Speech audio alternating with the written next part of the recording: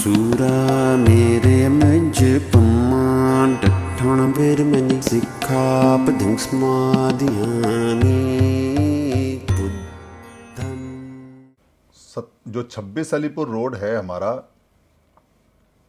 दिल्ली में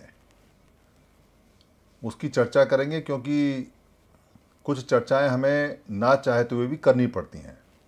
और ये ज़रूरी चर्चा है उसके बाद में मेन कंसेप्ट भी आएगा। 26 अलीपुर रोड पर बाबा साहब अंबेडकर रहा करते थे।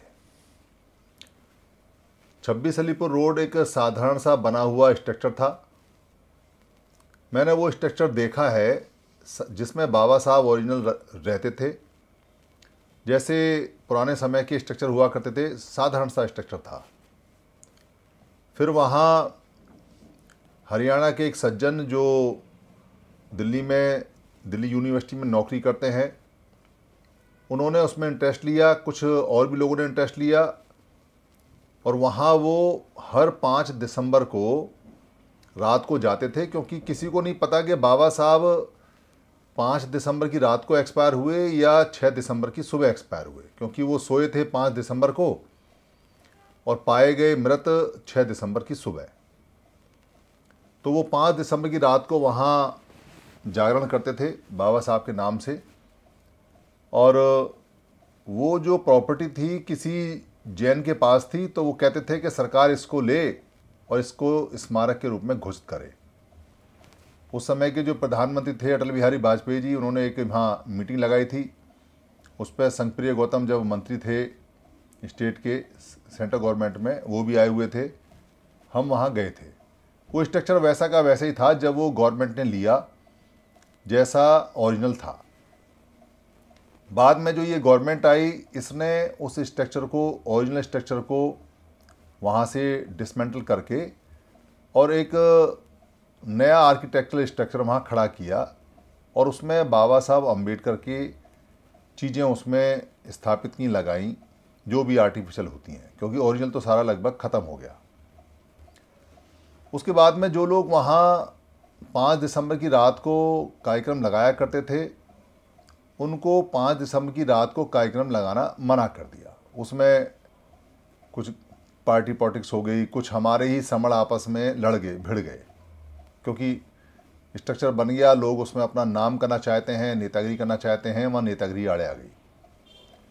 उसके बाद में वो पाँच दिसंबर की रात का जो कार्यक्रम था, वो भी बंद हो गया। गेट लग जाते थे, लोगों ने दरवाजे पे ही मोमबत्तियाँ लगा दी।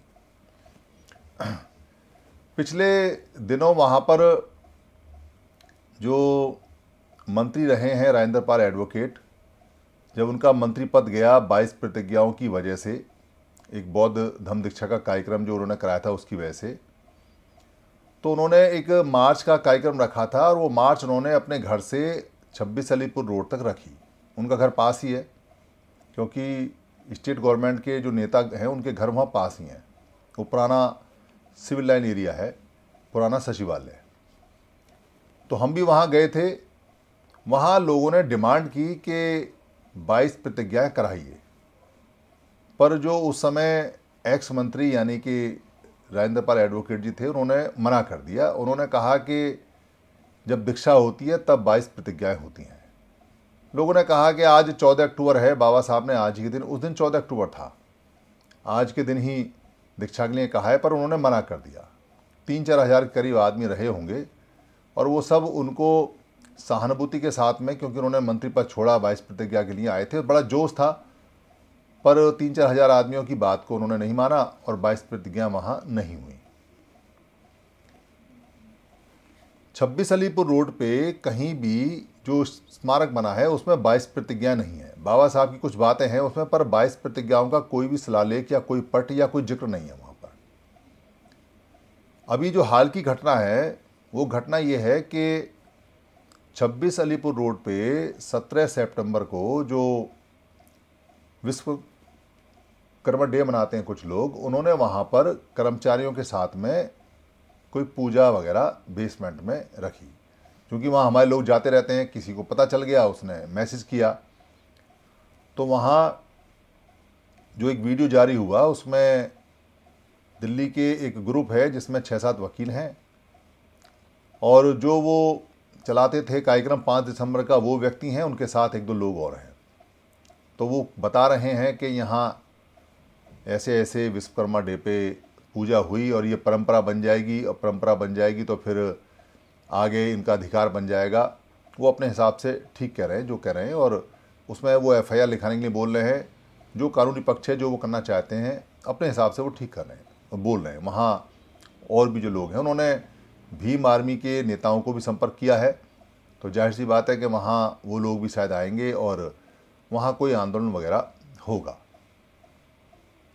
उन्होंने ये भी बताया वीडियो में कि फरवरी में एक जगह और है बाबा साहब की, जो पंद्रह जनपद के नाम से जानी जाती है, जहाँ बाबा साहब अंबेडकर का फाउंडेशन चलता था।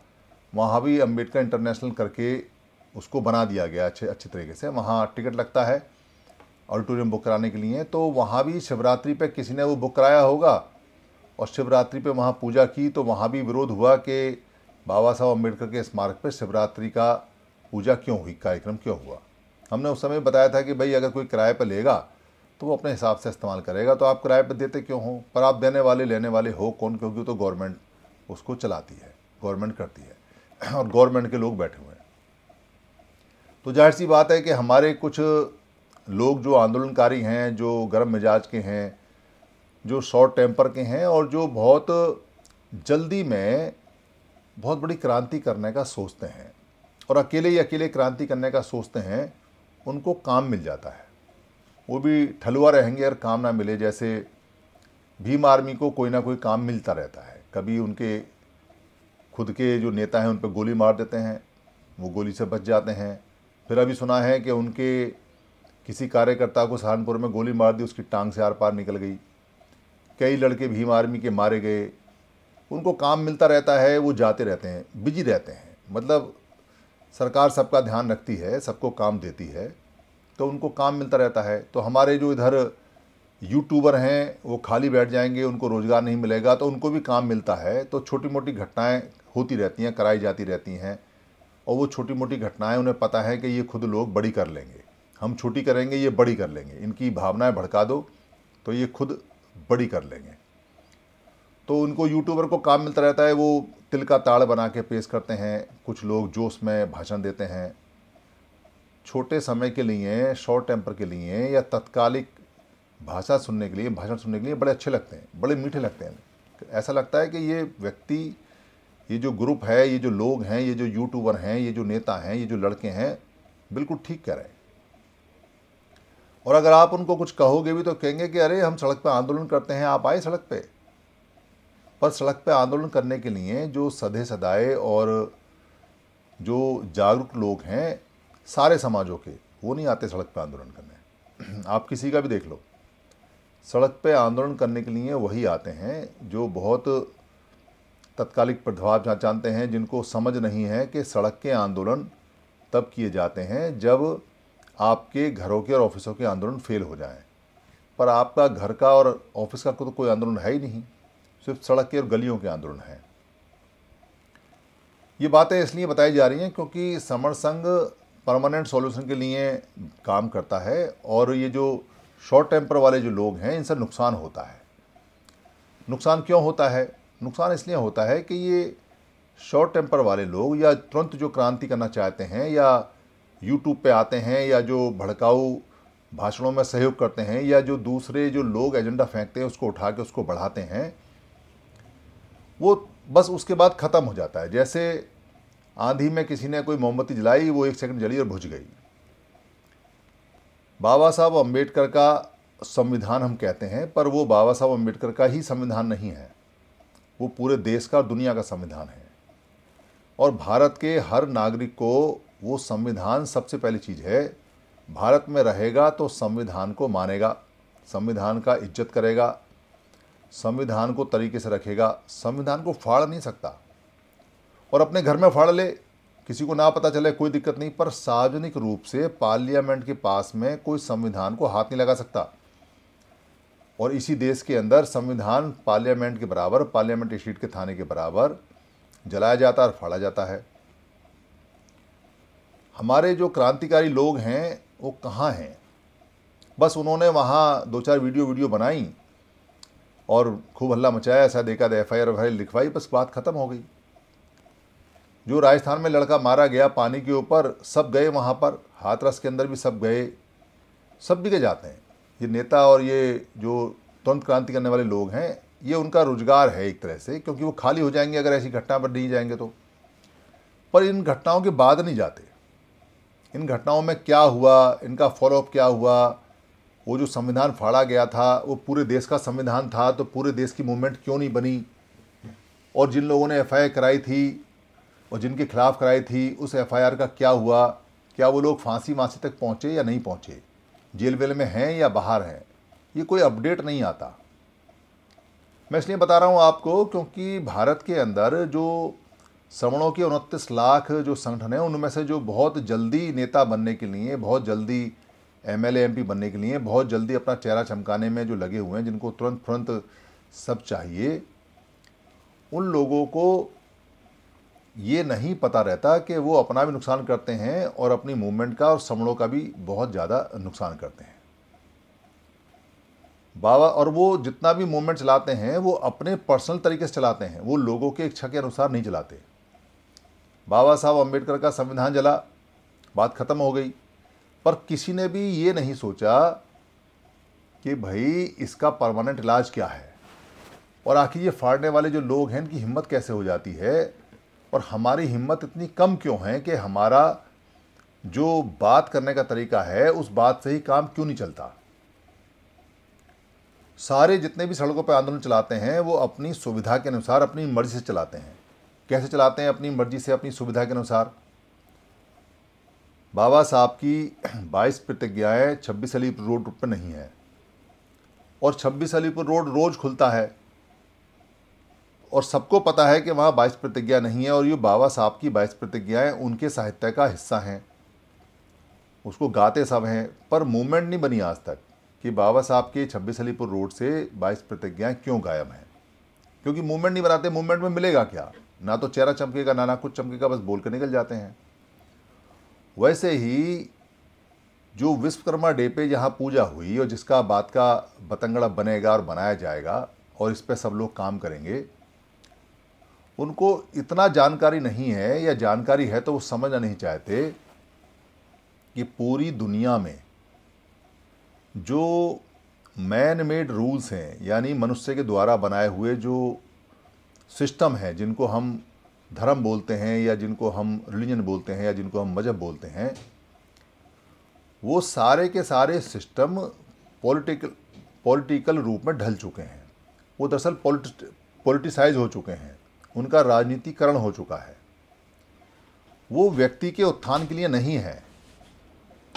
ये बात काफ़ी पहले से है, इसको आसानी से समझा जा सकता है। और भारत के परिप्रेक्ष्य में, भारत के संदर्भ में तो बड़े मज़े से समझा जा सकता है। भारत के अंदर यहाँ कोई मज़हब नहीं था, कोई धर्म नहीं था, कोई रिलीजन नहीं था। लोग यहाँ प्राकृतिक जो मत है, यानी प्राकृति को नेचर को पक्ति को माना करते थे।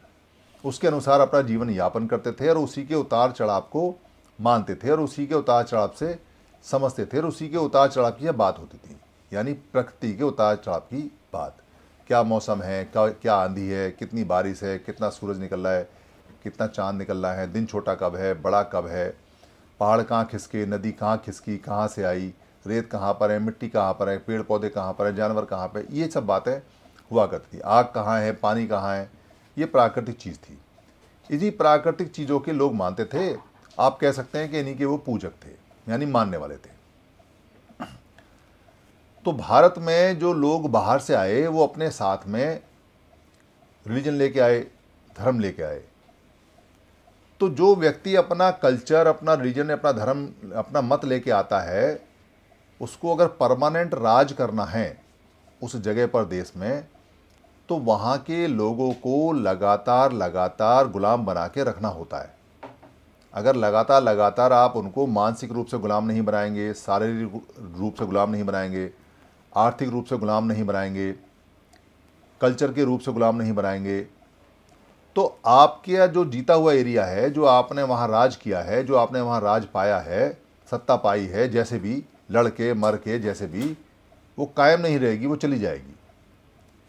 इसलिए जब यहाँ बाहर से लोग आए, जिनको हम वमण बोलते हैं, हमने नाम दिया वमण तो वो अपने साथ जो लेके आए, उन्होंने अपने जैसे मत में बनाने की कोशिश की लोगों को। क्योंकि अगर हम किसी को अपने मत में ले लेते हैं, या हम किसी के घर में शादी कर लेते हैं तो दोनों ही केसों में विरोध खत्म हो जाता है। मान लो श्रमणों ने आपस में शादियाँ कर ली तो जाति खत्म हो जाएँगी तो विरोध खत्म हो जाएगा।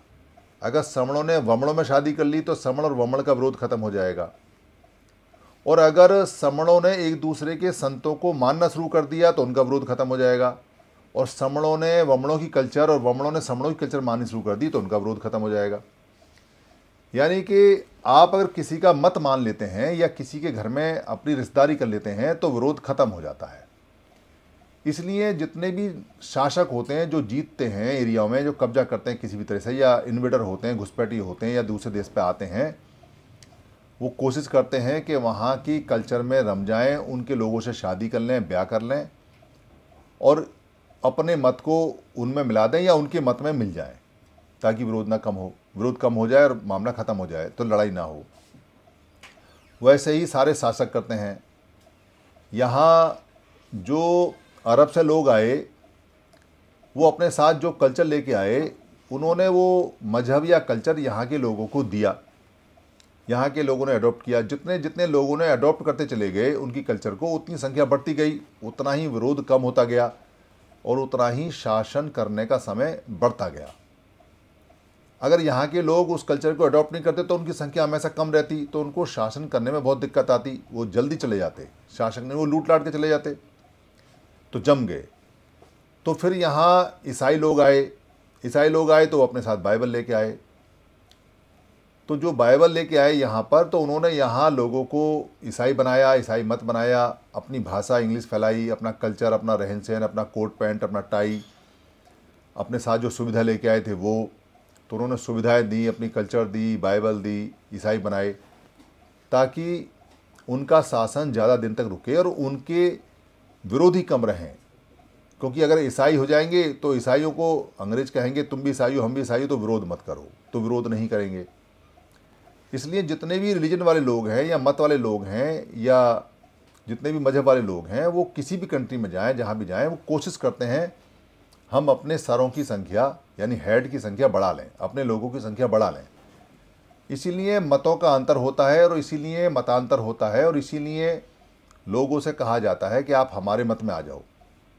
और इसलिए लोग अपने मत की तारीफ़ करते हैं। दरअसल, मत में कोई नहीं लेके आना चाहता। जनसंख्या बढ़ा रहे हैं। वोटों की संख्या बढ़ा रहे हैं, बहुमत बढ़ा रहे हैं अपना। बहुमत बढ़ाने के लिए मत में ला रहे हैं। उस मत में क्या है, क्या नहीं है, उसका ज़िक्र नहीं है।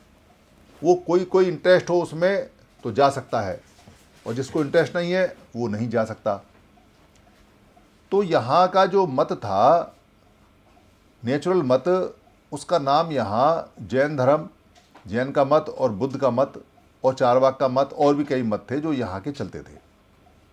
उनमें मिक्सिंग हुई, उनको अडॉप्ट किया, फिर अपना मिलाया, फिर उनका काम ख़त्म किया, फिर उसमें भी चमत्कार डालने की कोशिश की, कुछ कहानियों में चमत्कार डाल दिए। फिर उनके मतों के जो जानकार लोग थे, उनको भी फिर गॉड जैसा दर्जा देना शुरू किया, उनका अवतार बना दिया। क्योंकि सिस्टम ये कहता है कि या तो हम में मिल जाओ और या हमें अपने में मिला लो, या दोनों काम कर लो। उससे विरोध कम होगा, शासन तेज चलेगा, शासन देर तक चलेगा। इसलिए दुनिया के अंदर जितने भी लोग सत्ता में होते हैं, ये एक प्राकृतिक बात है, नेचुरल बात है कि वो देश को या राज्य को या जगह को यहाँ तक कि परिवार को भी, यानी परिवार में भी जो खाने कमाने वाला व्यक्ति होता है, उसकी चलती है, उसका मत चलता है, क्योंकि वो पावरफुल है। तो अपने मत में ढालते हैं अपनी जनसंख्या बढ़ाने के लिए, अपनी सुरक्षा के लिए, ताकि उनका विरोध कम से कम हो और उनके मत जैसे लोग ज़्यादा होंगे तो उनकी बात चलेगी तो वो सुखी रहेंगे और ज़्यादा देर तक रहेंगे। इसलिए जो भी सत्ता में आएगा, जो भी शासन में आएगा, वो अपनी मत की बात करेगा। इसीलिए जितने भी प्राकृतिक चिन्ह थे, स्तूप थे, बुद्ध से पहले इन स्तूपों को, इन चिन्हों को और जो पंजाब में टीले मिलते हैं और जो इधर उत्तर प्रदेश में जो ऊँची ऊँची पहाड़ियाँ टीली मिट्टी की मिलते हैं या ईंटों के मिलते हैं, जिनको स्तूप बोलते हैं, थूप बोलते हैं या जिनको चिन्ह बोलते हैं धम के, वो बुद्ध से पहले के भी हैं, क्योंकि बुद्ध ने बताया है कि थूपों पे, स्तूपों पे जाते, चैत्यों पे जाते रहना चाहिए। ये उन्होंने बताया, इसका मतलब उनसे पहले भी थे, महापुरुषों के और बुद्ध ने कहा है कि अगर जीवित रहना है सबको इकट्ठे रहना है तो अपने चैत्यों पे जाते रहना चाहिए और चैत्य बनाते रहना चाहिए। चैत्य मतलब चेतना योग्य चेतिया बोलते हैं इनको। चेतिया मतलब जहाँ आपकी चेतना जागे, चेतीय योग, वो जगह इनको चैत्य बोलते थे। तो वहाँ जाते रहना चाहिए, जिनको आप आज के समय तीर्थस्थल बोलते हैं। तो वो जो सिस्टम था, उस समय का वो बुद्ध के बाद भी जारी रहा। और अशोक के समय तक आते आते थूपों की और स्तूपों की और चैत्यों की संख्या चौरासी हज़ार हो गई और पूरा महाभारत बौद्ध में हो गया। तो वो चौरासी हज़ार जो थूप और स्तूप थे, जिनको बाद में मंदर के नाम से बोला गया। मंदर मतलब जहाँ मन का दर्द दूर होता है। और मन का दर्द दूर करने वाले दो लोगों के नाम प्रमुख आते हैं। महावीर जैन का नाम थोड़ा आता है क्योंकि उनका प्रचार प्रसार ज़्यादा नहीं है। उनके लोग भी बहुत थोड़े से हैं, पर बुद्ध के मंदिर बहुत हैं। बुद्ध के मन के दर्द को दूर करने वाली जगह, यानी विपसना साधना करके मन के दर्द को, मन को ठीक करने वाले बहुत सेंटर हैं। इसलिए जितने भी आपको मिलते हैं आज के समय जिनको आप मंदिर बोलते हैं पुराने, खास तौर से, वो उसी समय के रहे हैं। पर आज वो बुद्ध की कल्चर के नाम से या प्राकृतिक कल्चर के नाम से या समण कल्चर के नाम से नहीं जाने जाते। क्योंकि संघ चला गया।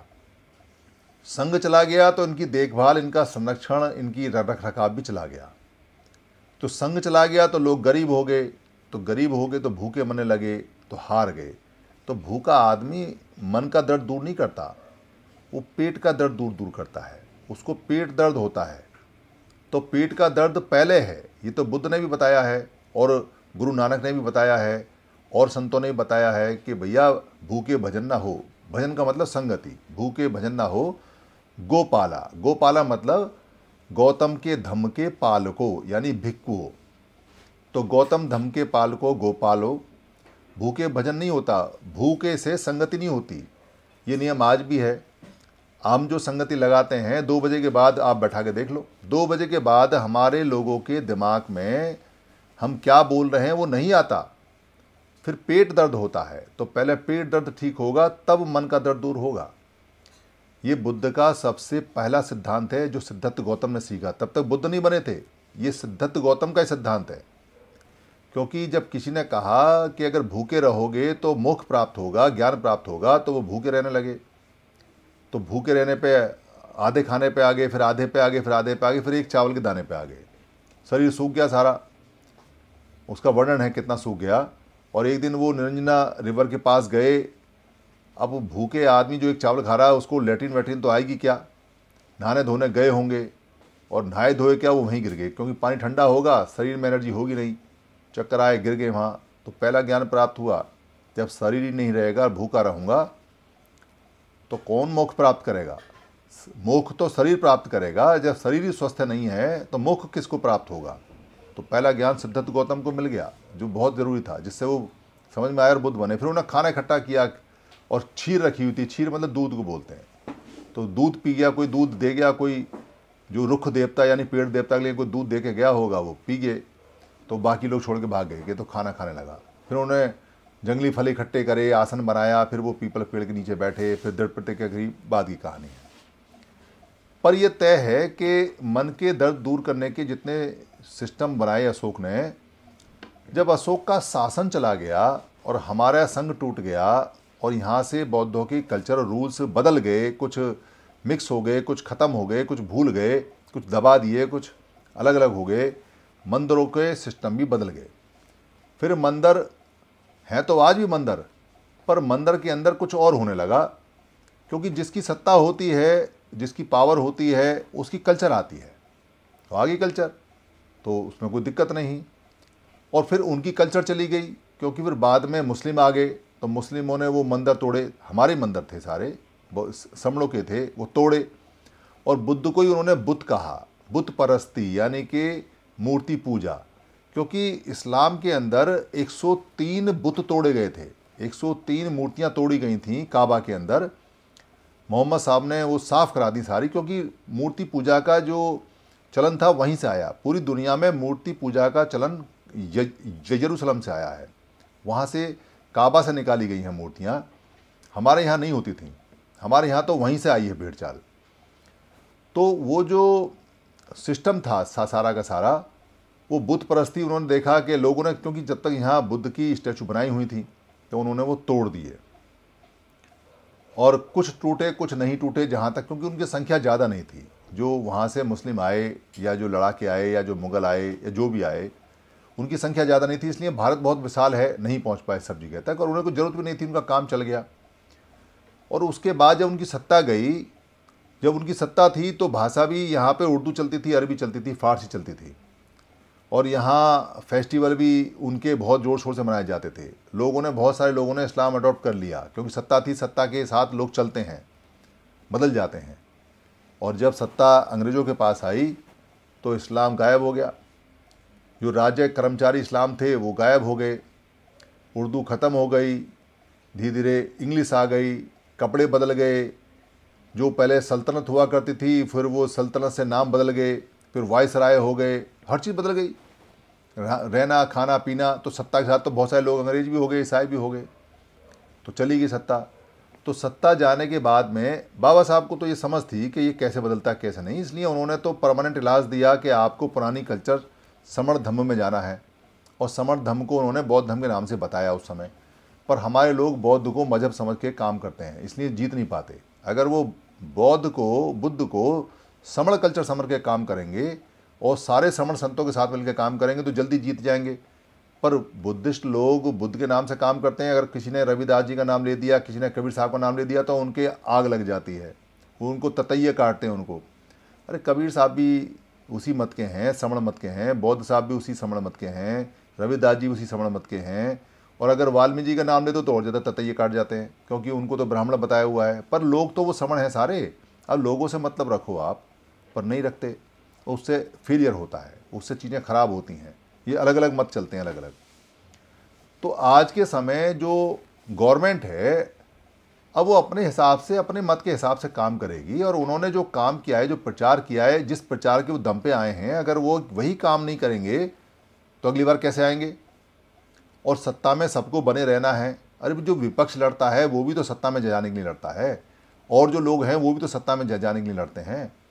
तो सत्ता में जाने का रास्ता लोगों से होके जाता है। और लोग तभी आपकी बात मानेंगे जब आप उनके फ़ायदे के लिए या उनके मत के हिसाब से या उनकी कल्चर के हिसाब से या जो आपने प्रॉमिस किए वो काम पूरा करोगे। अगर वो काम पूरा नहीं करोगे तो क्यों आपको लोग मानेंगे? तो इसलिए अगर मान लो बाबा साहब अंबेडकर के स्मारकों का, चाहे वो महू है, चाहे वो छब्बीस अलीपुर रोड है, चाहे वो पंद्रह जनपद है, चाहे वो बौद्ध गया है चाहे वो कोई और भी है, चाहे वो किसी और के भी समणों के मत हैं, अगर उनका वो अपने हिसाब से चेंज करते हैं, बदलते हैं, अपनी कल्चर के हिसाब से उसमें पूजा करते हैं, पाठ करते हैं तो आप कुछ नहीं कर सकते भाई। और चीखने चिल्लाने से तो बिल्कुल कुछ नहीं होगा, क्योंकि चीखने चिल्लाने से आप अपनी कमज़ोरी बताते हो, आप चीखने चिल्लाने के मुकाम को नहीं पहुंचाते। अगर संविधान फटा है तो पूरे देश का था, पर चलो अगर आपने एफ़ कराई तो उसको फांसी तो चढ़ाना चाहिए था। उसको उम्र कैद तो पहुंचाते, इतने साल हो गए। अगर बाईस प्रतिज्ञाएँ नहीं थी तो चिल्लाए थे तो बाईस प्रतिज्ञा लगनी चाहिए थी। तो ऐसा काम नहीं करना चाहिए जिसको पूरा नहीं कर सकते। अधूरा काम करने से क्या होता है कि लोगों में मायूसी छाती है। पर यह बात समझते नहीं है समर संघ ये बात समझता है। तो समर संघ ये कहता है कि काम पूरे हो सकते हैं। और ये सारे एजेंडे जितने भी हैं, वो पूरे हो सकते हैं। आपके पास में जनसंख्या बल पूरा है। पर आप अकेले अकेले करोगे, अकेले अकेले नेता बनोगे, आप समाज को इकट्ठा करने के लिए समड़ों को इकट्ठा करने के लिए काम नहीं करोगे, आप आपस में उलझते रहोगे, आप सबसे पहले भागोगे यूट्यूब पे कि मैं सबसे पहले बोलूँगा, इसका क्रेडिट मैं लूँगा। तो असफलता का क्रेडिट मिल रहा है आपको? सफलता तो किसी के पास नहीं है। एक मुझे आंदोलन बता दो ऐसा, जो पूरा सफल हुआ हो, जो मैच्योर हुआ हो। एक आंदोलन बता दो। ले दे के आपके पास में एक दो अप्रैल अठारह की घटना है। उसमें भी पूरी तरह से सफल नहीं है हम। वो भी दूसरे के हाथ में है। मिल गया तो ठीक है, नहीं मिल गया तो छुट्टी। क्योंकि आंदोलन बड़ा था, संघ का आंदोलन था, इसलिए सफलता मिली, पर पूरी नहीं मिली।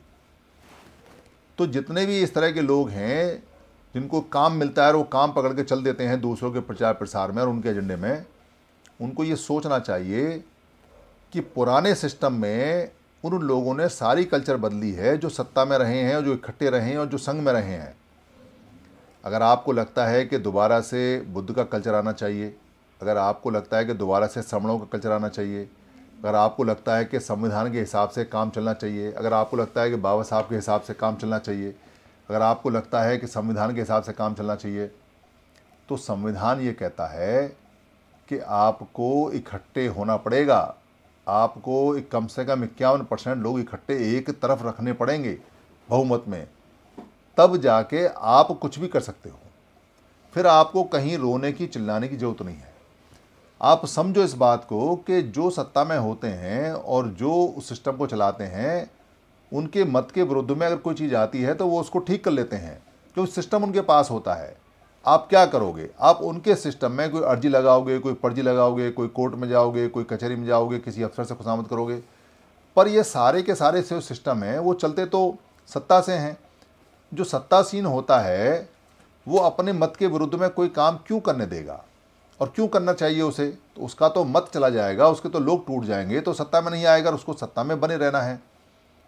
इसलिए छब्बीस अलीपुर रोड को अगर आपको इसका पूरा इंतज़ाम करना है, इसका पूरा सॉल्यूशन करना है, या पंद्रह जनपद का करना है, या महू का करना है, या और जो मंदिर हैं उनके करने हैं, या और जो चीज़ें उनकी करनी है तो आपको संवैधानिक रूप से इकट्ठा होना पड़ेगा। आप अपनी ताकत उसमें लगाइए, बजाय इसके, क्योंकि ये चीज़ें चलती रहती हैं। पूजा पाठ होने से अंबेडकर के सिद्धांत नहीं बदलते। बुद्ध की मूर्ति तोड़ने से बुद्ध नहीं खत्म हो जाते। वो फैल गए, वो पूरी दुनिया में चले गए। इसलिए मूर्तियों में और पूजा पाठों में और इसमें अगर परमानेंट कोई इलाज होता तो इतने दिन से पूजा पाठ हो रही है। तो डॉक्टर अंबेडकर क्यों बुद्ध के लिए कह के जाते? क्यों बता के जाते कि आपको बाईस प्रतिज्ञा है, आपको पूजा पाठ नहीं करनी है? क्योंकि पूजा पाठ, ये सब चीज़ें टेम्परेरी हैं और ये जितने भी सिस्टम हैं, आपको जानकर ताज्य होगा कि ये पुराने समणों के सिस्टम हैं। पर बताए जाएँ कि सारे समणों के सिस्टम हैं तो समझने वाले को भी इतनी समझ होनी चाहिए। क्योंकि कई बार हम जब बताते हैं कि कल्चरल जितनी भी चीज़ें हैं और उत्सव जितनी भी चीज़ें हैं, जैसे अब आज गणेश चतुर्थी है। अब ये गणेश चतुर्थी जो कल्चर है, ये वप मंगल से आई हुई है। अब वप मंगल पाली का शब्द है। वप माने होता है बीज बोना और मंगल माने होता है अच्छा जिसको हम शुभ बोलते हैं। बढ़िया बोलते हैं।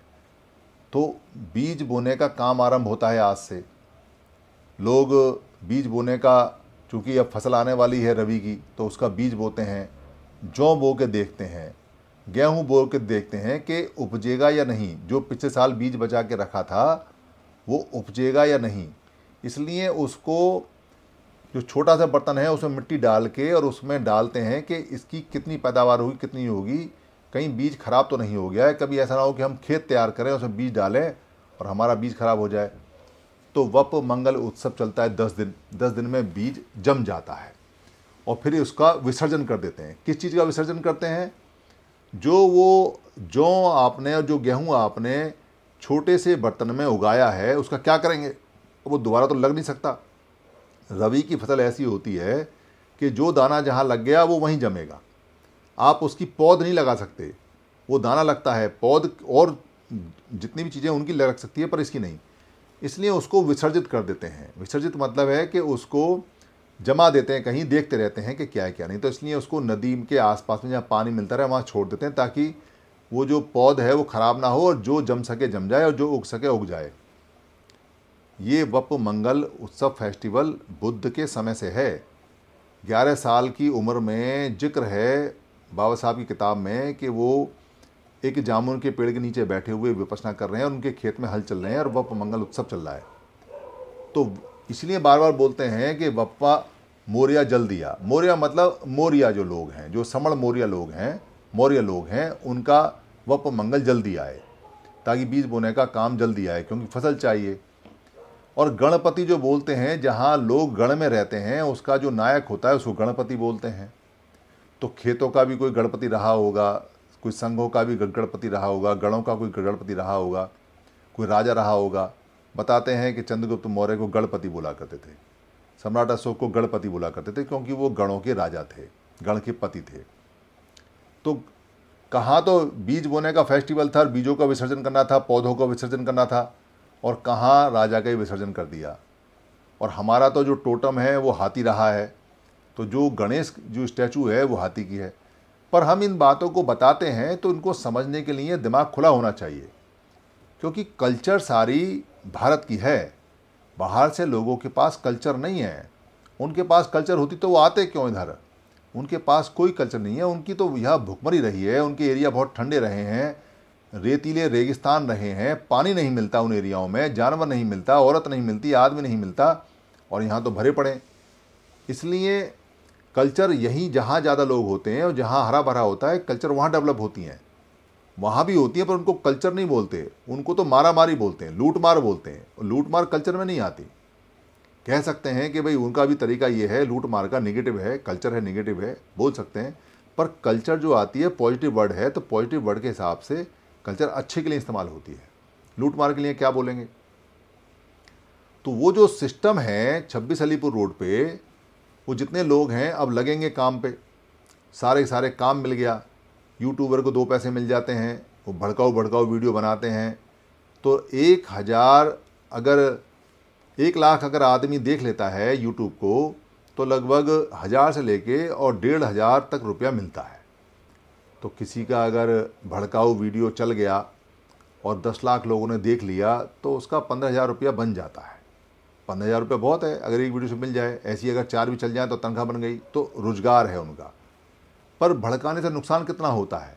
फ़ायदा तो कुछ नहीं होता।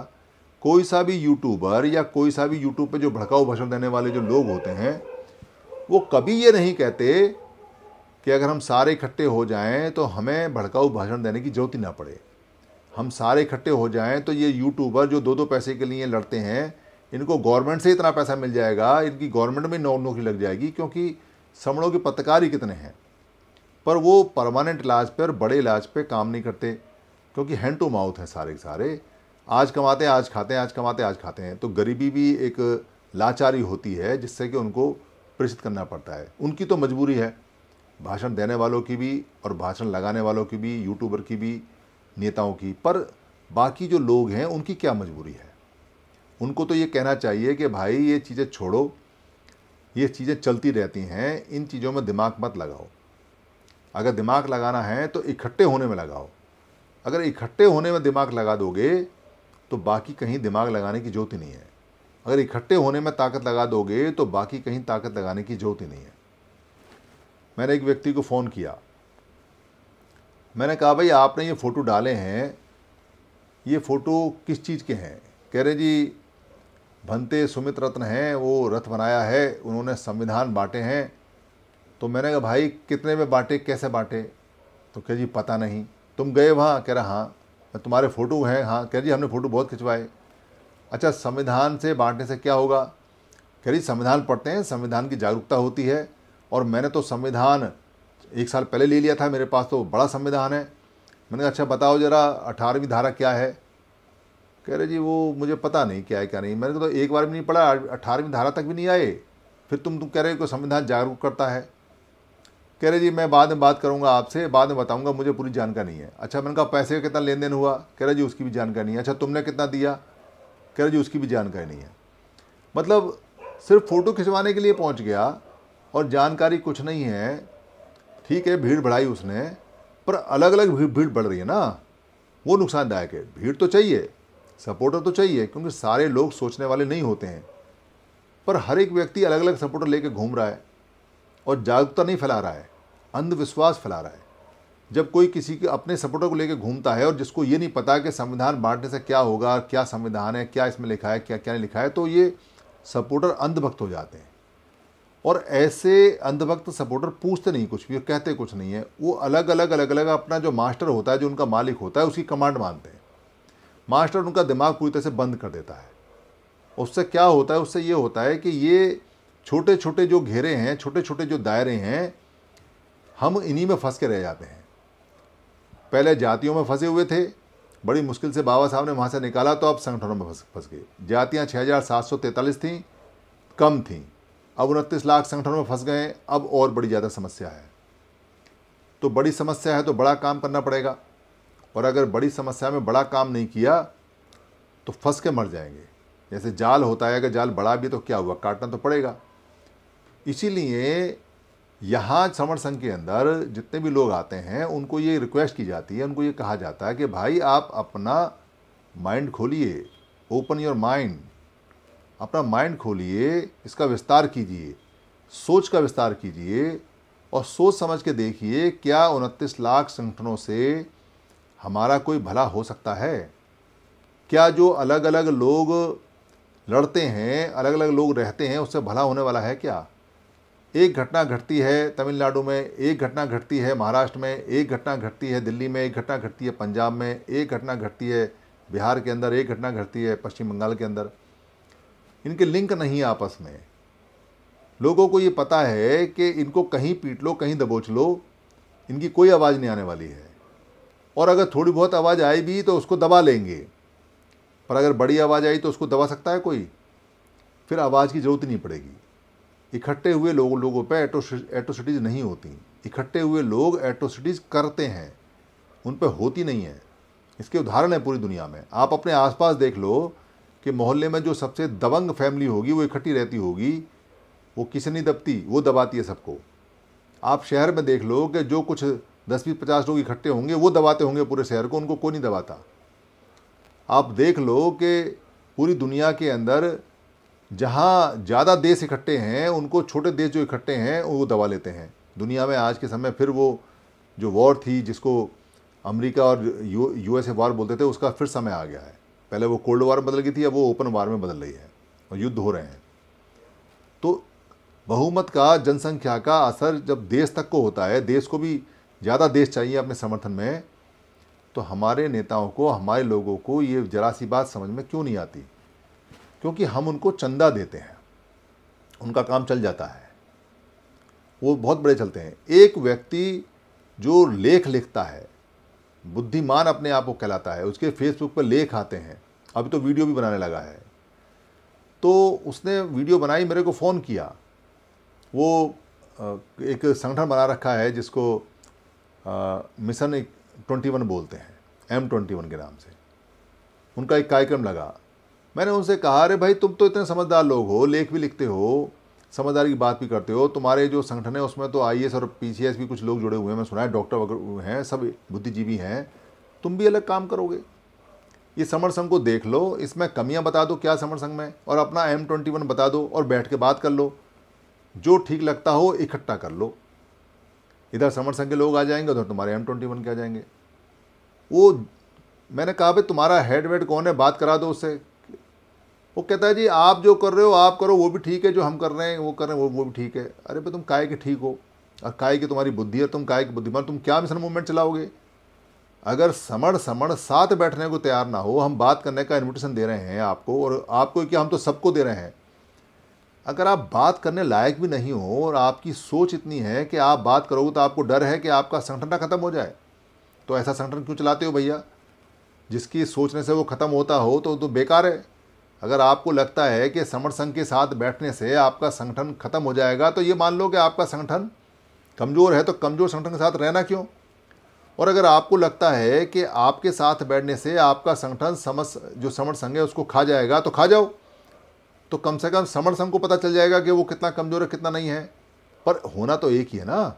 अच्छा तो ये रहेगा, कोई किसी को खा जाओ, कोई किसी में विलय हो जाओ, पर एक हो जाओगे तो ज़्यादा ताकत बनेगी, और भी लोग आएँगे, पर कोई नहीं आता। कोई बात करने को तैयार भी नहीं है। अब तो फ़ोन उठाने भी बंद कर दिए लोगों ने। क्योंकि सब लोगों को ये लगता है कि अगला प्रधानमंत्री वही है 2024 में। हर आदमी मिशन 2024 में पूरी ताकत से लगा हुआ है। चाहे वो तीन है, चाहे वो दो है, चाहे वो डेढ़ है, चाहे वो आधा है। चाहे पौना पौआ है, पर हर एक को ये लगता है कि अब जो चुनाव आने वाला है सारे लोग उसी को प्रधानमंत्री बनाने वाले हैं। और प्रधानमंत्री वो बनता है जो सौ साल तक मेहनत करता है। पूरी हिस्ट्री उठा के देख लो। कब कांग्रेस स्टार्ट हुई और कब प्रधानमंत्री बनने शुरू हुए। और जो आजकल प्रधानमंत्री बनते हैं, उन्होंने सिस्टम कब बनाया और कब जाके प्रधानमंत्री बनते हैं। और हमारे लोग तो यूट्यूब पे दो गाली दे के प्रधानमंत्री बनने के सपने देखते हैं। यूट्यूब पे। और जो बुद्धिजीवी जिनको बोलते हैं जो खास तौर से यूनिवर्सिटी में पढ़ाते हैं क्योंकि उनको छूट है वो कुछ भी बोल सकते हैं वो कोई भी नेतागिरी कर सकते हैं वो राज्यसभा का टिकट भर सकते हैं वो एमपी का भर सकते हैं वो लोकसभा का उनके सम, उनके उनके सिस्टम में है कि वो चुनाव लड़ सकते हैं उनकी नौकरी नहीं जाती। यानी चुनाव लड़ने के लिए नौकरी छोड़ने ज़रूरत नहीं है। तो वो सारे के सारे जितने भी हैं यूनिवर्सिटी में हमारे जो लोग हैं वो गोल गले की कमीज पहन लेते हैं और उनका एक ही सपना है। एमपी तो बन नहीं पाएँगे, पर राज्यसभा में पहुँचने का फुल सपना देखते हैं। कोई कोई पहुँच जाता है तो उनका सपना और दर्द करता है। हर व्यक्ति राज्यसभा में पहुँचने के लिए दी जान लगा रखा है। इतने भारी भारी शब्द इस्तेमाल करता है, जब बोलता है कि ताकि वो लोग कहें कि मैं बुद्धिजीवी हूँ और राज्यसभा में बुद्धिजीवी जाते हैं। समस्याएँ बहुत सारी हैं, पर डरने का नहीं है, घबराने का नहीं है। डरने का, घबराने का इसलिए नहीं है क्योंकि एक अकेला सिद्धार्थ गौतम, जिसकी सोच से भी परे था जिसने कभी नहीं सोचा कि वो कोई परिवर्तन कर सकता है, क्योंकि वो जानता था कि अकेला व्यक्ति परिवर्तन नहीं कर सकता। पर हिम्मत नहीं हारता। घर से बाहर निकाल दिया, संघ से बाहर निकाल दिया, सजा हो गई तो अपने काम पे लग गया। तो ये सोच के नहीं लगा था कि प्रधानमंत्री बनना है, या विश्वगुरु बनना है, या राजा बनना है, या क्या बनना है। ये सोच के बना के दुख दूर करने हैं। पहले अपने करने हैं। और जब अपने आगे दुख दूर हो गए समझ में आ गया तो फिर सोचा, चलो, औरों के भी कर देते हैं। तो औरों के दुख दूर करने निकला तो काम ही करता रहता था पैंतालीस साल तक। तो सिद्धार्थ गौतम तो मर गए, यानी बुद्ध तो मर गए। उनको नहीं पता कि उनके द्वारा किए हुए काम की वजह से यहाँ साढ़े तीन अरब लोग, आज के समय चार अरब लोग उस पद्धति को अपनाते हैं, जो वो देखे गए, और जो आज़ादी की पद्धति है। और जो संघ बनाया उन्होंने, इसलिए नहीं बनाया था कि कहीं राज करना है या सम्राट अशोक जैसा राज आएगा या कुछ करेगा, इसलिए बनाया था कि ताकि काम की स्पीड बढ़ जाए और लोग जल्दी से मुख प्राप्त कर लें और शुद्ध हो जाएँ और अच्छे हो जाएँ, ईमानदार हो जाएँ, क्योंकि वो धम्मिक काम था। तो सिद्धार्थ गौतम तो चले गए, बुद्ध तो चले गए, पर उनको नहीं पता कि उनके सिद्धांतों से सम्राट अशोक जैसा राजा कितने दिन तक काम किया उसने और कहाँ कहाँ फैला दिया उनके सिद्धांत को। इसलिए सिद्धार्थ गौतम से, बुद्ध से मेहनत करना सीखना चाहिए। डॉक्टर अंबेडकर से मेहनत करना सीखना चाहिए। डॉक्टर अंबेडकर ने कभी सोचा कि वो लिखेंगे संविधान? कभी सोचा कि आज अगर वो डॉक्टर अंबेडकर तो चले गए, पर आज उनके नाम का ख्याति पूरी दुनिया के अंदर है, जो चला गया, उसे क्या पता रहता है? पर काम उन्होंने शिद्दत से किया, काम उन्होंने मेहनत से किया, और जुड़ने जुड़ने का काम किया, लोगों को समझाने का काम किया। तो भूल जाएँ बाकी बातें कि क्या है, क्या नहीं है। हमारे पास में वो फार्मूला है जो हमें हमारे महापुरुषों ने दिया हुआ है कि अगर हम काम करेंगे और इकट्ठा रहेंगे और इकट्ठा करने का करेंगे तो सफलता आएगी ही आएगी। ऐसा हो सकता है कि हमारे मरने के बाद आपके मरने के बाद आए, पर आएगी ज़रूर। और ऐसा भी हो सकता है कि अगर हमने ज़्यादा मेहनत कर दी तो हमारे जीते जी भी सफलता दिखाई दी। और सफलता तो जैसे काम करते हैं वैसे आती है। और ये क्या कम सफलता है कि आज के समय जब हम संगति लगाते हैं तो वहाँ परिवार जैसा माहौल हो रहा है और लोग एक दूसरे के दुख दर्द में बात करते हैं और एक दूसरे को सहानुभूति से बात करते हैं, मिलते जुलते हैं और एक दूसरे के चेहरे को देख के खुश होते हैं। ये सफलता है।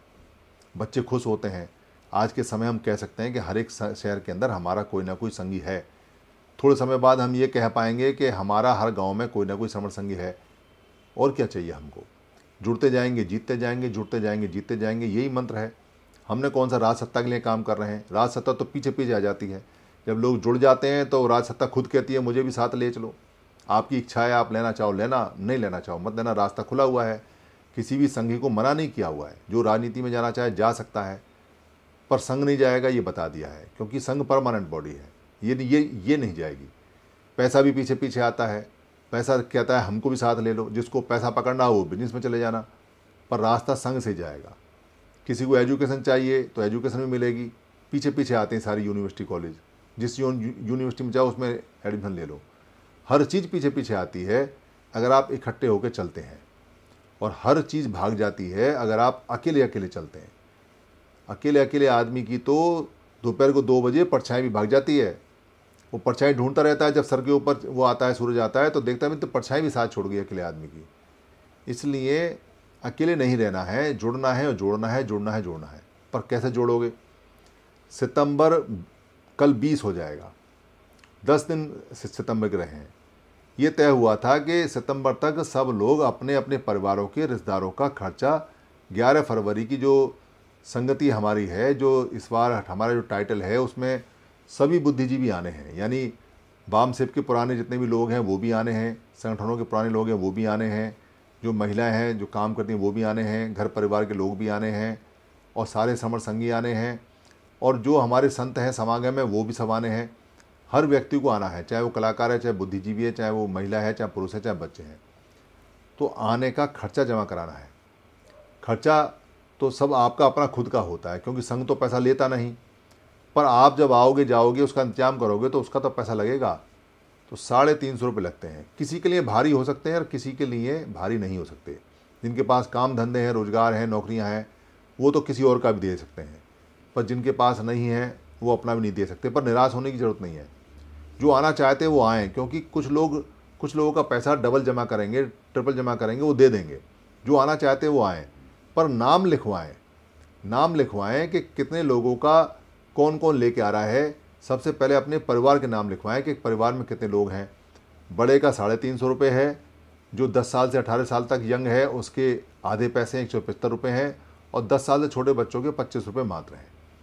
अगर आप किसी का ज़्यादा दे सकते हैं तो ज़्यादा पैसा जमा करा दीजिए, क्योंकि कोई व्यक्ति अगर अपना खर्चा नहीं दे पाएगा तो उसका वहाँ एडजस्ट हो जाएगा, ताकि व्यक्ति को ये ना लगे कि वो आ नहीं सकता। तो आना तो सभी को है। तो जितना जल्दी हो सके उतना जल्दी आप अपने आसपास के जो स्पोक हैं, जो जानकार हैं, या यहाँ अभी आएँगे डिजिटल में आपको नंबर बता देंगे, अकाउंट नंबर दे देंगे, उसमें आप अपना नाम, पता, खर्चा इसमें जमा करा दीजिए, ताकि आपका नाम वहाँ चला जाए और वहाँ लिस्ट में ऐड हो जाए। जितनी जल्दी हम जुड़ेंगे, उतनी जल्दी जीतेंगे। तो जितनी जल्दी हम अपना नाम लिखवाएँगे, उतनी जल्दी हम आगे की संगतियाँ और अच्छी कर पाएँगे। आपने कहा कि मैं तो पहुँच जाऊँगा पहुँच जाऊँगा और खर्चा बाद में दूँगा, और आपने कहा मैं तो फरवरी में दूँगा आके। भाई इंतज़ाम भी तो करेगा संघ। जो इतने सारे लोग हैं, फिर इन पर दबाव पड़ेगा, इंतज़ाम तो हो जाएगा। फिर हर एक संघी को दस दस बीस बीस हज़ार रुपये एडवांस देना पड़ेगा। और आपको देने ही हैं। उससे क्या रहेगा कि एंड टाइम पे आप मान लो दो हज़ार फालतू आ गए और हलवाई के पास खाना नहीं हुआ, फिर आप कहोगे इंतज़ाम नहीं हुआ। हम आए तो ऐसा हुआ तो इंतज़ाम में खराबी होगी। दस बीस परसेंट में ऊपर नीचे बढ़त को तो झेल लेगा संघ। पर पचास परसेंट ऊपर नीचे हो गया तो हलवाई कैसे झेलेगा? फिर आप कहोगे व्यवस्था नहीं थी, ये नहीं थी, वो नहीं थी। और एंड टाइम पे व्यवस्था खराब होती है, पर संघों में व्यवस्था खराब नहीं होती। संघ के लोग समझदार होते हैं। ये कोई राजनीतिक पार्टी का जलसा तो है नहीं। जो रामला मैदान भरना है तो चले गए घूमते घामते, ये एक सिस्टमेटिक तरीके से काम करने वाला संघ है। इसमें सारी चीज़ें तरीके से होती हैं, पहले से होती हैं तो आप अपनी ज़िम्मेदारी समझते हुए जितना जल्दी हो सके। 30 सितंबर से पहले पहले 2000 लोगों का कम से कम खर्चा जमा हो जाना चाहिए। तो अभी मेरे ख्याल में ढाई सौ लोगों का खर्चा जमा हुआ है। और बाकी लोगों का खर्चा आना है तो आप, आप अपना और अपने परिवार का खर्चा जमा करा दें और जितनी जल्दी हो सके उतनी जल्दी करा दें। और अभी ये जो छब्बीस अलीपुर रोड का जो तूफ़ान उठेगा तो मेरा निवेदन है सबसे कि सबको समझाएँ कि भाई इकट्ठे हो जाओ तो फिर छब्बीस अलीपुर रोड पर कभी कोई आएगा ही नहीं। और आप अगर इकट्ठे नहीं होगे तो वहाँ रोज़ ऐसे ही होगा और कब तक आप लड़ते रहोगे? और कहाँ कहाँ लड़ोगे? और कितने कितनों से लड़ोगे? और अगर लड़ना ही होता तो इतने सारे मंदिर थे उनसे लड़ लेते। पर आप नहीं लड़ पाओगे। क्योंकि सिस्टम होता है तो फिर कोई एट्रोसिटीज होती नहीं। और सिस्टम नहीं होता है तो एट्रोसिटीज होती हैं। और सिस्टम बोलते हैं इकट्ठा होने को। सिस्टम राज सत्ता को नहीं बोलते, ब्यूरोक्रेसी को नहीं बोलते जुडिशरी को नहीं बोलते। सिस्टम बोलते हैं कि लोग इकट्ठे कहाँ हैं। जहाँ लोग इकट्ठे होते हैं, सिस्टम वहाँ से चलता है। और बाकी लोग तो यही सब काम करते हैं। ये जुडिशरी वाले लोग हैं, या जो ये ब्यूरोक्रेट लोग हैं, या जो और भी जो सिस्टम है, वो सारे सारे उनके लिए काम करते हैं, जो लोग इकट्ठे होते हैं। मेरी किसी बात से अगर किसी को कोई ऐतराज़ हो या किसी को कोई परेशानी हुई हो तो मैं संघ से माफ़ी चाहता हूँ संघ मुझे माफ़ करे संघ मुझे माफ़ करे संघ मुझे माफ़ माफ़ करे संघ नमामि संघ नमामि संघ नमामि.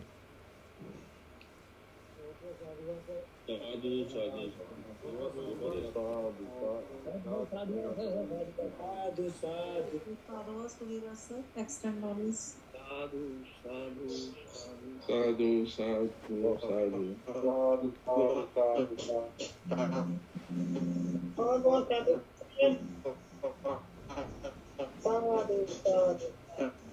बहुत बहुत साधुवाद सर बहुत बहुत बहुत अच्छी जानकारी दी। बहुत बढ़िया कंसेप्ट रहा सर।